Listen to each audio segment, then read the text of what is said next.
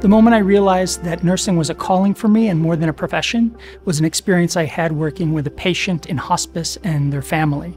Uh, this patient was having a pain crisis, and the family was also in crisis. So I administered medication as you're taught to do as a nurse, but really what was different about that encounter was I was able to bring myself to the encounter and use kind of my experience and my person therapeutically to help calm the family and bring some peace to the situation.